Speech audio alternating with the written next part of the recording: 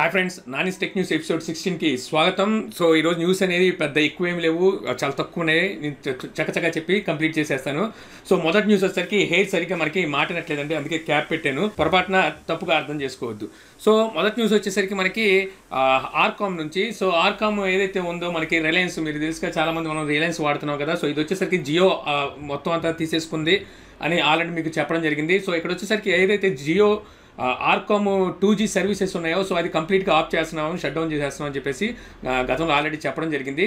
So ఇక్కడ వచ్చేసరికి మీరు ఎవరైనా సరే ఆ టూ జీ సర్వీస్ ఆర్కామ్లో అంటే మనకి రిలయన్స్లో యూజ్ చేస్తున్నట్టయితే మీకు డిసే డిసె ఈ జనవరి థర్టీ ఫస్ట్ వరకు మనకి టైం అనేది ఉంది. మీరు కావాలంటే పోర్ట్ పెట్టుకొని మీరు వెళ్ళిపోవచ్చు అనమాట సో ఇది ఎలాగని చెప్పి ట్రాయ్ చెప్పింది అనమాట ఇంతకుముందు వచ్చేసరికి డిసెంబర్ థర్టీ ఫస్ట్ వరకు అంది అది ఇప్పుడు పొడిగించడం జరిగిందంట.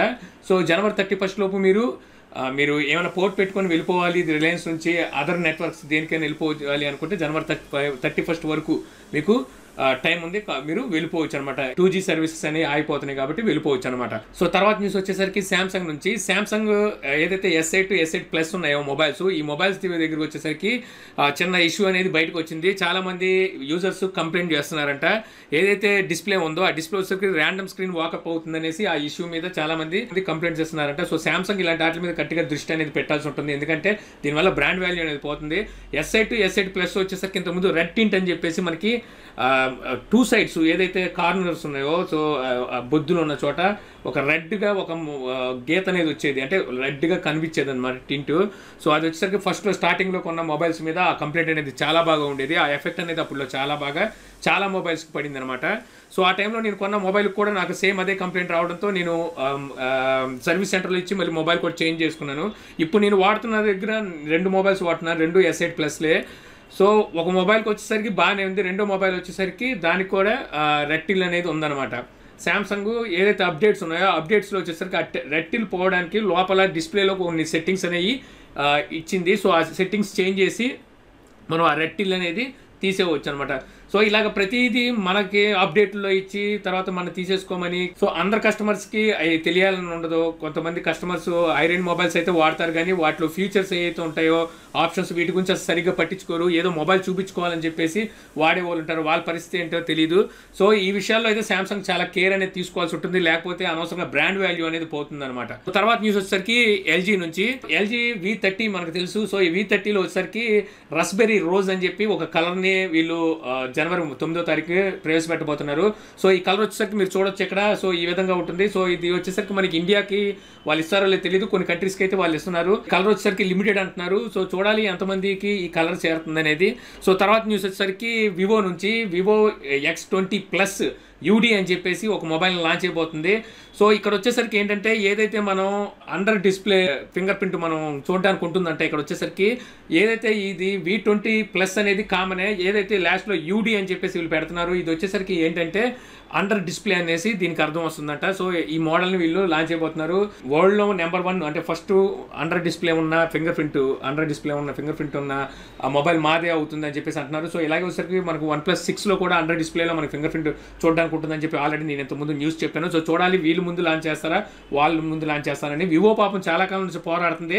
అండర్ డిస్ప్లే ఫింగర్ ప్రింట్ తెచ్చుకొని వరల్డ్లో ఫస్ట్ మేమే ఉన్నాం అని చెప్పి చెప్పుకోవడానికి. Uh, చూడాలి వీళ్ళు ఎంతవరకు సక్సెస్ అవుతారు వీళ్ళు ఎప్పుడో ట్రై చేస్తున్నారు ఎప్పుడో చెప్పుకోవాలని చూస్తున్నారు. అండర్ డిస్ప్లే ఫింగర్ ప్రింట్ అనేది మాది ఇది మా ఆవిష్కరణ అవ్వాలి అని చెప్పేసి చెప్పుకోవడానికి ఎప్పుడు ట్రై చేస్తున్నారు. చూద్దాం ఇది ఇందులో ఎంతవరకు వాళ్ళు సక్సెస్ అవుతారనేది. సో తర్వాత న్యూస్ వచ్చేసరికి గూగుల్ నుంచి. సో గూగుల్ ఏదైతే పిక్సెల్ సిరీస్ నెక్సెస్ సిరీస్ ఉన్నాయో దానికి సెక్యూరిటీ అప్డేట్ అంటే మన జనవరి ఈ కొత్త సంవత్సరం జనవరి సెక్యూరిటీ అప్డేట్స్ అనేవి స్టార్ట్ అయిపోయిందంట. సో అంటే రోలింగ్ స్టార్ట్ అయిందంట.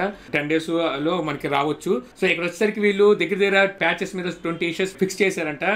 సో చూడాలి మీరు ఎవరైనా ఆ పిక్సెల్ కానివ్వండి నెక్సెస్ కానీ వాడుతున్నట్టయితే మీకు ఆల్రెడీ వచ్చేసిందేమో చూడండి లేకపోతే త్వరలో మీకు రాబోతుందని చెప్పేసి న్యూస్ అయితే ఉంది. తర్వాత న్యూస్ వచ్చేసరికి షౌమీ నుంచి షౌమీ ఏదైతే డివైసెస్ ఉన్నాయో వాళ్ళకి మనం సర్వీస్కి ఇచ్చినప్పుడు ఆ సర్వీస్ ట్రాక్ చేయడానికి ఎంఐ డాట్ కామ్లో మనకి సర్వీస్ ట్రాకింగ్ ఇది మనకి ఇండియా కూడా యాడ్ చేశారంట.